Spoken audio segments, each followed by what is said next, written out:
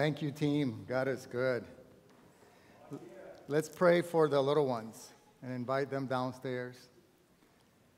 So, Father, we just thank you, Lord, for your presence in our midst. Truly, truly, there is nothing better than you. Lord, thank you for all of the provisions, Lord, the salvation, Father, in your, in your Son, eternal security. Lord, the provision of family, the, the family, biological, and the community of God. Thank you for this family. And thank you for the children. Lord, may your hand be upon them. May the seed of life in Jesus Christ grow stronger every day in their lives. Let prepare the way before them so that they can be ambassadors and witnesses of the living God. Bless the teachers, bless their time, and bless us here as well. And we ask this in the name of Jesus. Amen and amen. So, little ones and kids, you can go downstairs, please. Well, good morning, y'all. And out there in YouTube land, ¿qué pasa? Mi nombre es Pablo. So, un mensaje en español, a message in español. I'm telling you, one of these days I'm going to go for it. So before we start, though, uh, there's a couple of you that will follow from A to Z for sure. But before we start, um, Bob, where's Bob? We have a kind of a family business announcement here. As long as, as long as there's subtitles, we'll be fine with it. So go for it. Um, has anybody checked out the bulletin today? An amazing plethora of information and stuff going on. Get senior moments today. Um, we've got, hey, got a big breakfast coming up, guys. Steak and eggs. Uh, we've got a bake sale. Woohoo! We got a bridal shower. Way to go, Rochelle. Congratulations. But right in the middle there, there's a kitchen shower. Now, I don't know if you've been following along in the e news uh, email that comes out, but we've been doing a kitchen refresh the last few weeks. We've cleaned out a bunch of stuff. We found things with expiration dates way, way, way, way long ago. I mean, pre COVID, pre GC, pre all sorts of things in there that it's like, wow. So we've cleaned out a lot, we've cleaned up a lot, and now we're bringing in some new stuff that actually doesn't look incredibly disgusting to cook food on. So, yes. You guys don't mind, we'll eat it anyway, but seriously, it was pretty awful. So, out in the lobby today, we are having a shower for the kitchen. There's all sorts of stuff that you can contribute to if you want to. It's not a silent auction, you don't get the stuff, but if you want, there'll be a box for donations. If you want to help sponsor some ladles or sponsor a griddle or something like that, there'll be a box for donations. There will be cookies for those of you that donate because we'll be watching. So, that's today, right after church. Thank you all so much. This is the kind of stuff that keeps our church looking amazing with everybody helping out. So, thank you. Amen. You're bad. And that's the end of the Bob Grinsell show. Amen. I love it. I love it. I love to be a part of this family. Um, so we are we're finishing together today the, the Gospel of Mark. Praise the Lord. Uh, and uh, the the focus or the text is about his commission and ascension. So he has risen. Amen. So before he ascends, he gives us a charge. So we'll be talking about that, and that charge is still active. And uh, the thing is that it's active until he comes back. And you know what? He promises that he will come back. Jesus is coming back. Can I get an amen? Regardless, regardless of your eschatology, as, Jeff would say, which is the study of the end of times, regardless of what Jesus is coming back. Amen? amen. All right, good. So, uh, the heart of the message, as I've been preparing and as I've been praying for you, for us, really the heart of it is to to provoke, uh, to encourage, and to invite the church, us, to fan the flame of the gospel in you. And at the end, I, I prayed about it. I just went back and forth with the Lord. It's like, Lord, I, don't let it be me, my emotional desire. but I ask Him for an impartation today. I don't know if you read one of the songs that we were singing, you know, the, to laying down the old flame and pick up the new fire. That's pretty much it. And um, so, and I don't know exactly, you know, we'll, we'll, we'll, I, I believe it's designed to unlock. Listen, God is God. And I praise God that God is God and we're not. Right? He doesn't have to satisfy your reasoning. He's asking for your faith. Do you believe that I can? Even though you've been asking for years, do you believe that the day could be the day? He's God. Timing belongs to Him. And who are we? Although He gives us permission to say, but Lord. But He is Lord. So at the end, we'll, we'll pray, and that's what's, what's in my heart. Okay?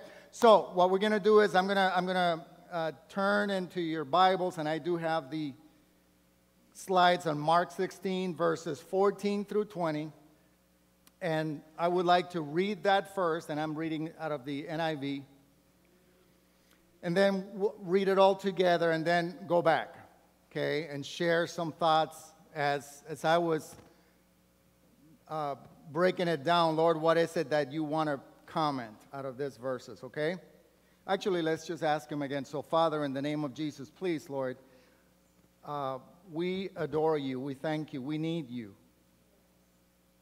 You are our, di- our dialysis. We need you for survival, for breathing. In you we live, we move, we have our being. Thank you for the Word of God. Thank you, God, for authoring scriptures, for inspiring writers years back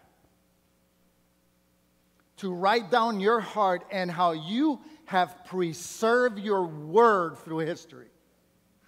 It's been attacked, it's been persecuted, it's been tossed in flames of fire, but it's still here. And what we have in our, our hands is the undefiled, the undeniable Word of God, infallible, powerful, transformational Word of God.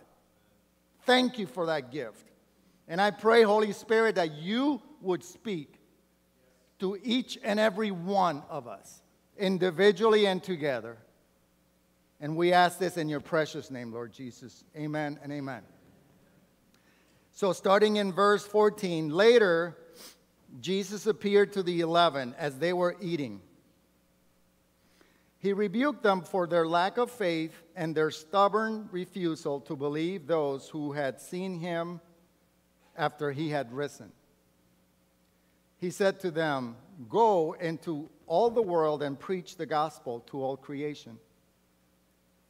Whoever believes and is baptized will be saved, but whoever does not believe will be condemned. And these signs will accompany those who believe. In my name, they will drive out demons. They will speak in new tongues. They will pick up snakes with their hands, and when they drink, drink deadly poison, it will not hurt them at all. They will place their hands on sick people, and they will get well. After the Lord Jesus had spoken to them, he was taken up into heaven and he sat down at the right hand of God. Then the disciples went out and preached everywhere. And the Lord worked with them and confirmed his word by the signs that accompanied it. Okay? So let's just go back. Let's just, uh, so start in verse 14. So just think about it. so the Lord has risen, and he appears to the eleven. I just love the Lord Jesus Christ, his leadership style, who he is. He's the head of the church. He's our leader. He's our champion. He's our discipler. He's our mentor. He's our friend. He's our God. Look it. He's up. And teaching, correcting, and fanning the flame of faith. So he rebuked them for their lack of faith and their stubborn refusal to believe. So, the definition of rebuke sharp disapproval, reprimand, criticism of an action or a behavior. That's a definition. But without context, it sounds harsh.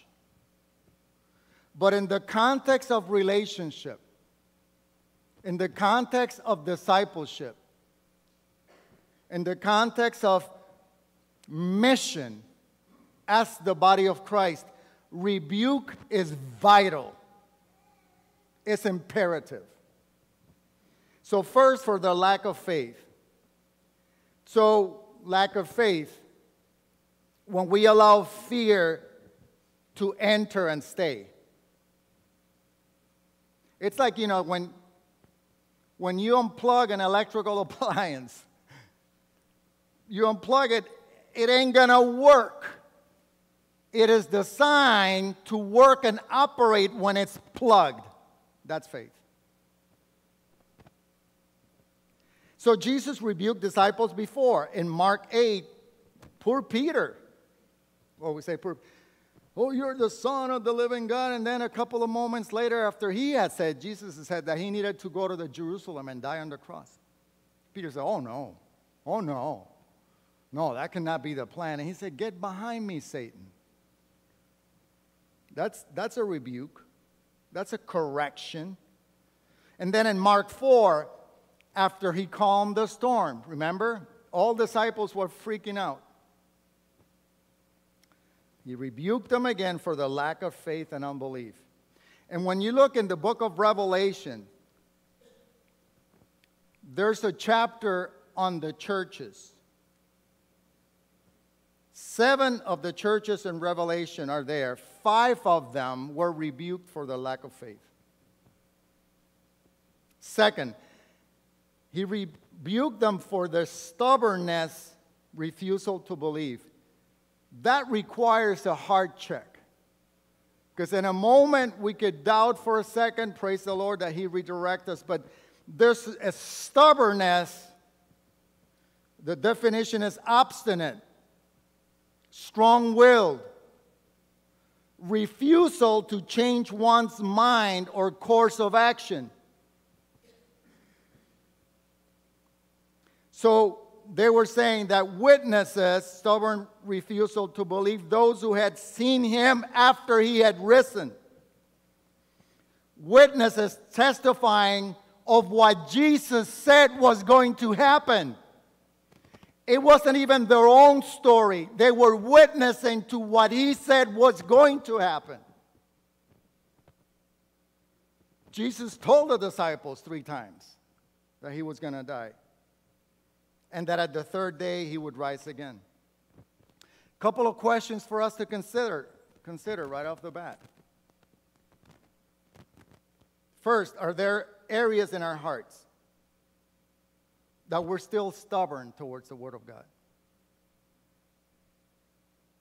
Where we could be exalting our opinion or others' opinions or our reasoning higher than the Word of God. Or is our faith grounded according to Scripture? Grounded in the fact that there's a supernatural God who's sovereign and all powerful, and for whom there's nothing impossible. Amen, brother. That's my God too. So, the second question, because if, if there are, and I understand that we're all growing, I understand that there's a process of maturation, but that's a good heart check.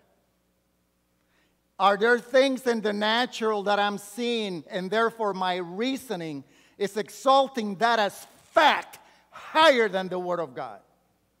And if you self check that, go to your Creator and God about it. Lord, I'm struggling with this in my heart. Would you let the truth shine in here? I give my reasoning, my opinions, and what I see and believe to you. Let me be grounded in you. Amen? Okay? At the end of the day, 2 Timothy 3:16 says all scripture is God-breathed and it's useful for teaching, rebuking, correcting, uh, and training in, in, in God's righteousness. So, are there hearts, areas in our hearts that are stubborn? And then the second question is, how do you, how do we, how do we handle rebuke? How do you handle rebuke?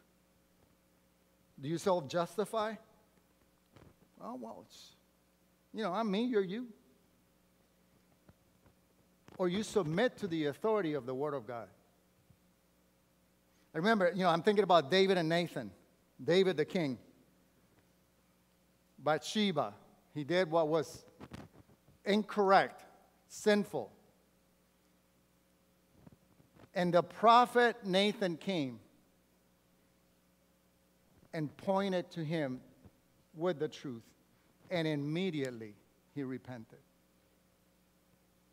He didn't self justify, and he was a king. Right? How do we handle rebuke? I need rebuke from the Word of God in my life. I need, that's the GPS. Reset, recomputing. You're going south, back to north, recompute. I need that rebuke in my life. So get beyond you if you struggle, as I have to get beyond me. It's not about me, right? It's about God through and in me. Okay. Then, verse 15, he said, he said to them, Go into all the world and preach the gospel to all creation. So, three things go, the preach, and then the gospel. Go, preach the gospel. So, go, it's a command, present tense, still in force and active. And it's just amazing to me that that is a go. We are commanded to go. We're going. The mission of the church is to advance the gospel as a kingdom family. We're going. And I'm grateful that I'm, because the go, when he said to them, go, there were 11 of them, the representation of the church. He didn't say, let me have a one on one with you all. To all, go. And I praise God that we don't have to go alone, we could go together. It's, a, it's an individual and a together as a church. Bring your gift to that call. Bring it to the table. Preach. Go, preach. It's an infinitive verb. I wasn't very good at grammar but it preach presents an action as a concept rather than a specific action of a subject. Preach, which generally is defined as proclaim, teach, or advocate, but it's more than that. It's a transmission, spiritual emission of the saving power of God in you through you to others. It's not only through words or the proclamation that that's traditionally preaching, but it's through your life that God can speak to people. We are living epistles sent to places, peoples, and groups. No coincidence that you work where you work, that God put you in the family that you're in. Second Corinthians 2 says that you know that you are and we are an aroma. Even without speaking, there's an aroma. Think about coffee in the morning. Although I don't drink coffee, but I love the aroma. But the Bible says, To those that are perishing, we are a dreadful smell of death and doom. But to those who are being saved, pre Christians that God's got them all over in their hands. Those that are being saved, we are life giving perfume without you even opening your mouth. You are emitting an aroma. Right? St. Francis of Assisi in the early 1200s, we've heard this, coin, he coined the phrase preach the gospel at all times and use words if necessary. Go preach the gospel. So let me explain what the gospel is. It's a gift, right? What it is, but what's in it. so I think what it is, and you can move it to the next slide, it is a plan. It is a plan from eternity. It is an event in history. So it's planned event, achieve, achievement, free offer, application, bringing us back. A plan from eternity, the gospel, before the foundation of the world. God, in His mind, had the gospel. It was an event in history, recorded in history, 2,000 plus years ago. Jesus entered this planet as a man and died without sinning once historical event, an event. It's an achievement. The gospel is an achievement through that event. Sin was paid for, atoned for. Righteousness was completed in that event. It's a free offer that is extended to all, to the world. If it wasn't free, it wouldn't be grace if there was something you or me could add to it, it would not be free. Totally because of Him. The application of the achievement, achievement, the gospel applied in you. We have been forgiven and justified. Hallelujah. We are given up the Spirit of God in us that begins a transformational process. The gospel is alive in you and me today. It's changing you. You're not the same you were. And it's not done yet. But the, the, the justification and forgiveness is not the end game. The end game is that it could bring, it brings us, the gospel brings us back to God. God is our treasure. For, for, for God so loved the world we don't have an idea of what love is. The, the, I give praises to God for who He is, for the love He, for His heart, His character, His commitment, His goodness, His relentlessness. He is love. And He wants us back. And with that fervor, I pray for my unbelieving, unsaved family members and friends with that passion. Let them taste and see that you are so good. Amen. But that's the gospel. What, what's in it? What's in the gospel? Is the power, Romans 1 says, the power of God unto salvation. The power, undefiled, unlimited power of God unto salvation the Holy Spirit manifestation of God's power through the gospel. That's when the supernatural meets the natural via the faith channel. It ignites life. Amazing. To me, a biblical example of the power of God when the supernatural meets the natural. Remember in Mark 6, you know, Jesus walking on water. And the disciples were afraid because they were focusing, focusing on what? On the natural, right? And then the supernatural Jesus comes, walks by, and meets them and says, Hey, take courage, it's me. And then Peter asks for permission to enter that supernatural realm. And Jesus says, Come on in. and he does enter it. To me, that's a picture perfect example of our current invitation state to partner with Jesus through his gospel. When you look at meanings in Scripture, water has many, many meanings. One of them is chaos and disorder. Genesis 1 2. The earth was formless and empty, darkness was over the surface of the deep, and the Spirit of God was hovering over waters. There's chaos and disorder in this world. Would you agree? And Jesus, through his gospel, is inviting us to walk over the water with him. Verse 16 Whoever believes and is baptized will be saved, but whoever does not believe will be condemned. A couple of quick comments on this one. The comment is on baptism.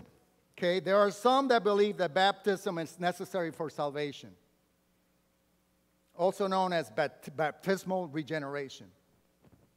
Scripture doesn't support that. Otherwise, think about the thief on the cross. Baptism is an important step of obedience for a Christian. And each and every Christian should be water baptized by immersion. We're thinking about another water baptism party in our, in our house here. So if you're not baptized, man, I invite you to, you know, reach out to Josh. Um, yeah, it's a public declaration that illustrates what has happened in your heart. That you have identified with Christ's death. That you and I died with him. We were buried with him. And we have risen in him. I no longer give, live, but Christ lives in me. That's, that's what that illustrates. Now, verse 6, uh, the second part of that is that whoever does not believe will be condemned. I, one of the first is I became a, a Christian as an adult. So, boy, there was a lot of cleansing that the Holy Spirit needed to do. And I think because I was just so lost, that He was graceful. And that I had amazing experiences right off the bat with the Holy Spirit. I mean, uh, the presence, an amazing presence. And then after a while, it kind of, but I think He knew that I needed it at that time.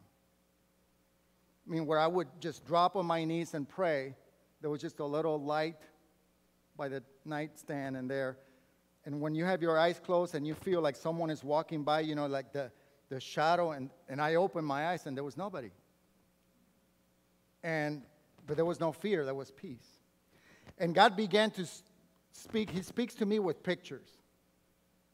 And one of the first pict- pictures that I got, it was like I was, it was high, high in space. I was in space looking at the world and the, and the world cracked open like an eggshell there. And through the middle, there was a huge, um, like a con- conveyor belt. I don't know, if, you know, the auto walk that you see in airports. You know, people just jump and they, they, you know. And, and I saw that towards the end of that, people were falling off. And I saw on the side of the conveyor belt people just grabbing, you know, going, standing, talking to people, talking to people, talking to people. They would fall off. They would talking to people, talking to people, talking to people. And then later I, I recognized what it was. It's about the gospel message and our role in it. Now, we know John 3:16. Who knows, who remembers 17 and 18? Well, well, you Bible students, you. Right. For God did not send his son, 17, in the world to condemn the world, but to save the world through him.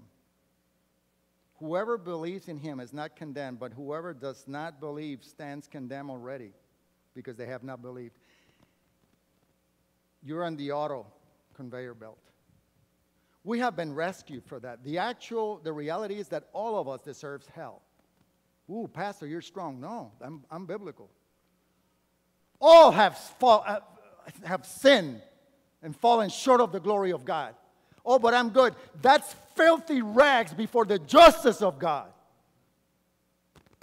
You and I need to understand that we have been redeemed and saved. Hallelujah. And now we are called to go together. Okay? Lord, slow the. Okay, here we go. 17. And these signs will accompany those who believe. In my name, they will drive out demons. They will speak in new tongues. They will pick up snakes with their hands. They will drink deadly poison. It will not hurt them at all. They will place their hands on the sick and they will get well. These two verses have traditionally presented some interpretational challenges. Let me just say like this the key theme in these two verses are signs. And let me just first say that according to Scripture, signs are there always to confirm the message of God and not the messenger. This distorted, people that have distorted this verse, and it happened um, in the 1950s in West Virginia. The church began to use as a ritual snake handling to show to unbelievers that they were protected by God and they were true believers. You know, the Bible says, do not put the Lord your God to test. Trying to force God's hand by requiring Him to perform a miracle like that, it's just more than foolish, it's sinful. Okay? The action described in this text is the ministry to people that are both spiritually and physically oppressed by sin and the devil. Okay? All that are going in context, go. All that are going, believers and disciples of Jesus, preaching the gospel. In my name, they will drive out demons. Listen, I've been hearing, I follow this one minister out of California. He's having 10 meetings already. In a, but of course, you're not going to hear it through the media. media in collaborations with churches. There's a unity. There's people coming together to go together. They're having amazing things happen, and I'm seeing documentation of it. Gangbangers, gang, tossing, coming to the altar, tossing drugs. Putting it all in there. Tell me that there's not a transference from the dominion of darkness into his marvelous light. the gospel. Those that preach the gospel in my name will drive out. They will speak new tongues. Not just the gift of the Spirit in tongues. I listen, it's language. A language that is biblical and spiritual versus natural and carnal. The Bible says the tongue can bring death or life when the Word of God flows through your mouth. That's kingdom language, that's kingdom tongue that brings life to someone. Regarding then the picking up snakes and drinking deadly poison, it's not prescribing that we do that. It's a figure of speech to affirm a spiritual truth. What these things represent you know, the, the, the snake and, and poison. In the spirit, what they represent, it's saying that it could be through the gospel opposed and crushed. There are two interpretation rules, two biblical interpretations. One is the law of the first mention. Basically, a word or a concept, the first time it appears in the Bible, that's where it provides the simplest and clearest presentation of that word or concept. For snake is on Genesis 3. And who represents that snake? The devil. Okay? Referring to Satan himself. The other rule is let scripture interpret scripture. So when you read a Luke, when you read Luke 10, I have given you authority to trample on snakes and scorpions and to overcome all the power of the enemy. Nothing will harm you. That's talking about the spiritual warfare and opposition from the enemy through the people that you're ministering to. Matthew, I'm sending y'all like sheep among wolves. Therefore, be shrewd as snakes and innocent as doves. Jesus has given us authority to overcome hostile creation, represented by serpents, scorpions. And the enemy will use people to spew spiritual poison in our faces. We're partnering with God in the conflict of the ages between light and dark, God evil, right? But greater is he that is in us than he that's in the world.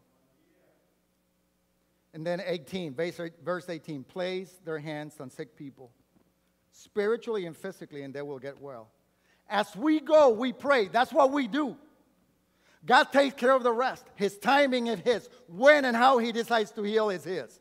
We pray. That's what we do. When we go, we pray. That's what we do. Okay? 19, after the Lord Jesus had spoken to them, he was taken up into heaven and he sat at the right hand of God. Then the disciples went out and preached everywhere, and the Lord worked with them and confirmed his word by the signs that accompany it. I love it. Christ is sitting down, implies authority. The king is sitting. It is finished, God. It is finished. It is, he's sitting down. He's not striving. It's he's sitting down. And then he gave us his permission, authority, power. And he ongoingly intercedes for us so that the victory is assured and guaranteed in Christ through his gospel. So receiving that call means that we live our lives trusting the God of the universe who is bigger than anything around us. A trust that, we, that, that knows that we serve a supernatural God who sticks his hand into the natural world to help those who follow him and to bring his purposes to pass. He's coming back soon. Two more minutes. As much as I try to condense it, that's my struggle. Amen. Thank you, brothers. I love y'all. Okay, so by 1.30, we should be good. All right. All right, all right, all right. So let me just then land it like this. The outline. So after reading this text, there's three key points that I want to. Um, could you get to the last uh, slide, please? What I love about that picture It represents the heart, the childlike heart of a gospel messenger. When you see that picture, you don't feel threatened. You know, it's inviting. So, the key points, church, as we go, listen, we're in a season of going. We're going to amp it up. We're talking with uh, some pastors in the city and, and, and the elders and Josh meet with some pastors. And now that it's going to be spring, summer, and you know, we are we're planning and pray for us. Let's let's go out, man. Let's let's outreach. Let's let's go outside of the walls together. Doesn't have to be a big to do that I, whatever. Let's just go out in the midst of the let's just go. We're excited about going.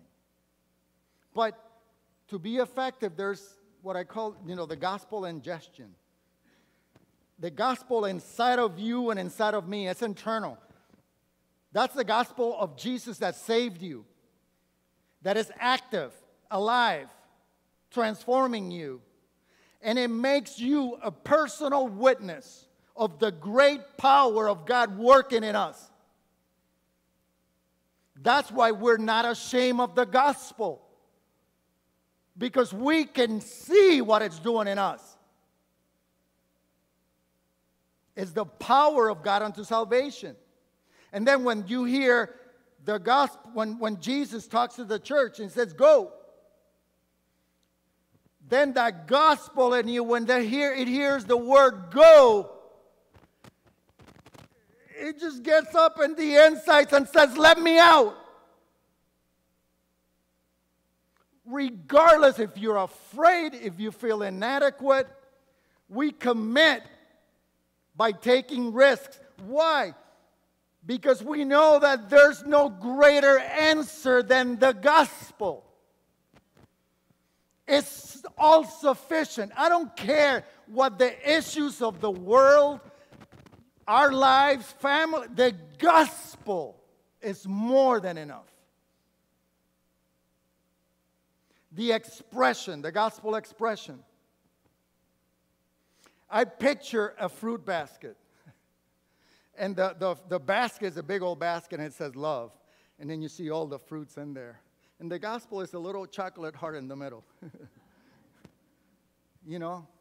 That's, that's, that's how we express it. The gift of the Spirit in the Spirit, by the fruit of the Spirit, with gentleness and respect. We offer that precious gospel. And then when we proclaim it, we have confidence in the gospel. It is the power of God. God uses, listen, God uses the gospel to save sinners. It's sufficient, it bears fruit. It is our highest calling. There's nothing else that could deliver or save people that are afflicted by the ills of society and a fallen world infected by sin. There's no other answer but the gospel. Amen. Um, could we stand before I pray? I, and pray. As, as I mentioned, we're gonna we're gonna we've been talking with pastors and, and with the elders talking. We just have a sense that in August we want to have a we want to throw a party, a block party, out there. I don't know how that's gonna look like. Let's just throw a party, man, and invite people. Come on, hey, you want to come to a party? Come on. I don't know how that's going to look. I just, it's in the spirit. Are you, are you down for throwing a party, a block party? Amen. Hallelujah. Let's do it. Let's do it. So pray about that. And if the Lord drops things in you, how you can bring your gift to it, I could help administer. You know, who knows? I'm praying that just a little work group committee forms out of that. I don't know. Let's throw a party. Let's see what the Lord could do. Amen? Um, so here's the thing. Oh, thank you for your grace. I just want to pray a prayer of unlocking and impartation. And I know I've gone over, I've transgressed. But if I'm going to transgress, I'm going to transgress big. so, Cans, could you just, you know, do a little. Is she here? Oh, yeah, yeah. Um, so, oh, stay. This is what my. So we are going to lay down the old flame and, and we want to pick up the fire of God. The invitation is not to point people out or to make you feel uncomfortable because you will receive the unlocking whether you're at home watching, if you stay down there, but I want to open the altar. I just, just because you feel that it's like, Lord, I, I just need your, I just need it, and I want to, like baptism, right? It's a public declaration and confession. So because we're family, we're in a safe zone. So the altar is open. And you can come in now. You can, you know, if you want to. I'm not going to but if you stay st- sitting, standing there, that's fine. So I'll just let the Holy Spirit do what He wants to do. Amen. Thank you, Lord. Thank you, Lord.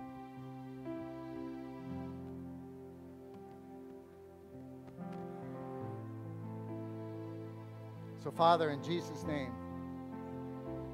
here we are, Lord, your people. I thank you for this community of believers. Yesterday was fabulous, Lord. to see generations of believers that have walked through these doors. And God, I just can only imagine how you feel when you, throughout history, generations of your children, and how blessed you are when, as a family, they come together to address you as Abba. Abba, you're, you're our Lord, you're our Father, and we bless your name. We just so bless your name. Lord, I thank you for the call of God in our lives. Lord, I thank you. I, I could have never imagined, I, could, I really could have never imagined that your grace and your mercy and your compassion and your goodness and your kindness would be so beautiful. That, that, Lord, that you would captivate my heart in such a way. Thank you. Thank you, Lord, that you are real, that the gospel is alive and active, Lord. It's like a it's like a pebble in a pond that ripples are going through history. Even now, God, salvation, gospel is entering in the lives of people. I just thank you. And Lord, we want to join what you're doing. We desire to be to receive your call with courage. But we receive it together. We don't have to be long rangers in this call. It's a we thing. So I thank you, Lord, that you use us, the foolish things, to confound the world. There's others that are, are a lot more eloquent, are a lot better equipped with the talents and gifts. But Lord, this way you show your glory brighter when you use just regular people like me. I pray in Jesus' name that this time, this act before you would be honoring and pleasing, but the Lord, that you would use it to activate. I pray in the name of Jesus for a flip, for an activation. I pray, God, for an impartation of the Holy Spirit in each and every heart of the believer under the sound of my voice. I pray in Jesus' name Lord, that you would show the call crystal clear, that it would be received and powered by your Spirit, that you would encourage and activate people. Lord Jesus, I pray that you would begin to orchestrate the divine appointments that you have laid out in each and every one of our lives. And together, I pray, God, that those that need to be rescued and drawn out of that conveyor belt, God, would be done, would be so that you would use us, Lord, as messengers of the gospel. We are praying to the Lord of the harvest. God, I pray for a fresh anointing. I pray for a fresh fire that would fall, that would fill the hearts of your people. I pray that the gospel would come left and right. Lord, that we would be outstanding in making transitions from the Timberwolves and the Vikings to Jesus Christ. I pray, God, that you would equip us in such a fabulous way that we would be anointed, that the aroma and the fragrance of life, perfume, would be so in us, God, that it would emit, emit, emit, emit the flavor, the flavor, the aroma of the gospel. I pray, Lord, that you would use us in a mighty way in the simplest things to the bigger things, whatever you want. Here we are. So we thank you. We believe it. We receive it. And we give all of the honor and the glory to you, our King. And it is to you that we pray. In the name of Jesus. And the church says, I bless you and I thank you. I thank you. I thank you for standing. It's hard when we follow some protocols, but I think God is asking us to step outside of the boat that those things that we look at frames of references that have blessed us. Amen. Have blessed us before. Hallelujah. But we cannot put the Holy Spirit in a corner. We cannot do that. He's the, he's the leader. Amen. Amen. I love you all, man. In Jesus Christ, I love you. Have a blessed week. And you know, we're going to linger around and Kansas, if you can keep it, you know, let's just ah, soak into this. But I want to be respectful too. So I bless you in the name of Jesus. The Lord bless you, keep you, make his glorious face shine upon you, and give you peace. Amen. Have a good afternoon, brothers.